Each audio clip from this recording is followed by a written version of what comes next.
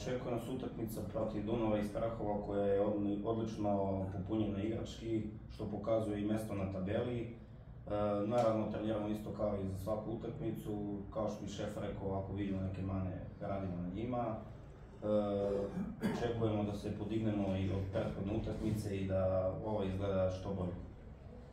Gledamo da to što pre zaboravimo, da se da osvrnemo na narednu utakmicu i nadam se da će biti bolje.